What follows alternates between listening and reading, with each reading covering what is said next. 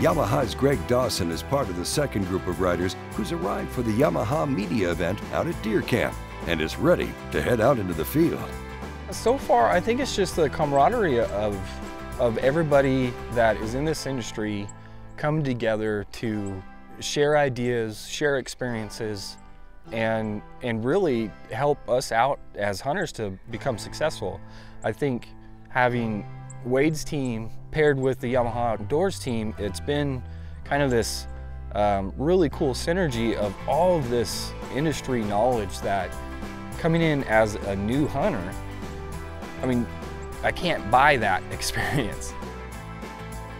In a hunting situation, you've got a lot of different people coming in, uh, you know, you're going to hunt in different scenarios. You know, we've got box blinds and we've got ladder stands and pop-ups. You got to go where the deer go. And, you know, the scouting cameras are starting to show a lot of deer around this one particular stand. And, you know, we got Greg out there who was on his first time hunting. And, you know, he kind of had the lucky draw if it started storming again because he was going to be in a box blind.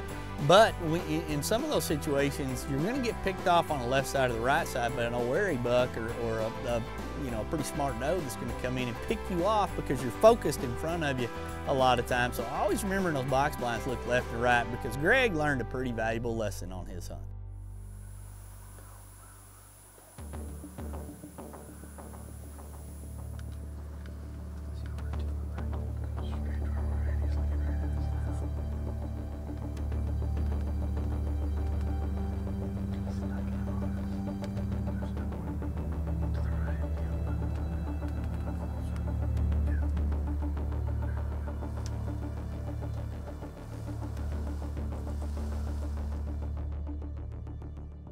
Greg took some time in between hunts to stay comfortable shooting the Thompson Center Venture, and now he's back out in the box blind for the second afternoon, hoping to get another chance.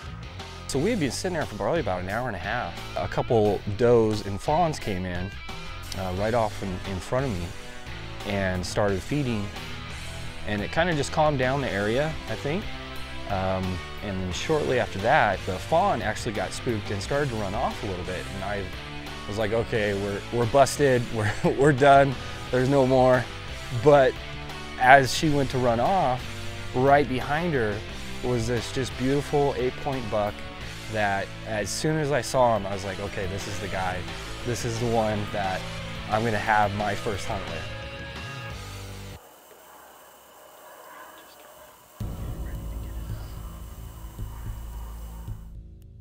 And he was off in the distance, just his, his rack right up there. He started walking towards us and took a slight turn like he was gonna go away. And again, I was like, okay, busted again.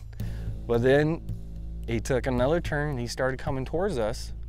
I started breathing a little bit heavier, really in the moment. Um, started to bring the, the barrel up. I hit the blind like three times thought I was gonna spook him off. All the uh, adrenaline was pumping and finally got the barrel out there, lined up the shot, and took it.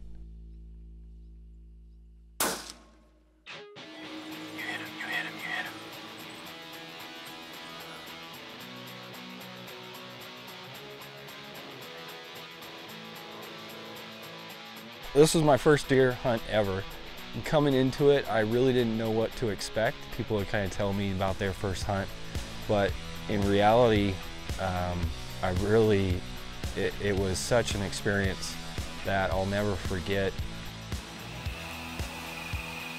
Yeah, he's gonna feed the family and, and uh, I'll honor him with a spot on, uh, on my wall.